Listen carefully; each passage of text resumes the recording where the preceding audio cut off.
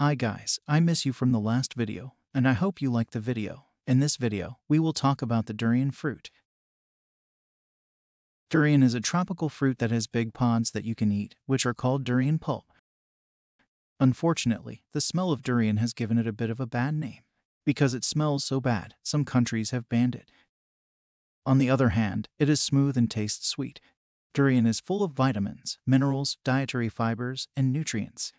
Because of this, it is good for your health in many ways when you eat it.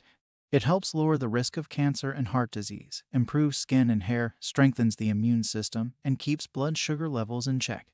Durian is considered a superfood because it has a lot of different kinds of nutrients in it. Most of it is in Southeast Asia, in places like Thailand, Malaysia, the Philippines, and Indonesia. Durian is a big fruit with sharp spikes all over the inside. It may not be pretty, but it has a lot of good things about it.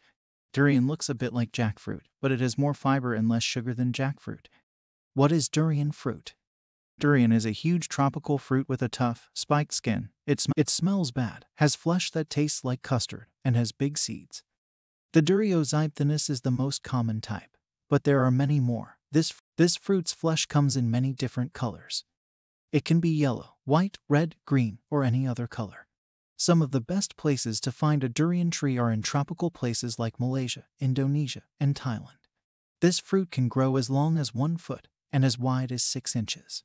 A single durian fruit has about two cups of pulp that can be eaten. Health benefits of durian fruit 1. Lessens the chance of cancer. 2. Lessens the chance of heart disease. 3. Regulates blood sugar.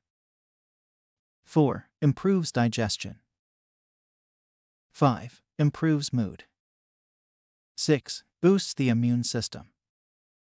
7. Makes skin health better. 8. Improves hair.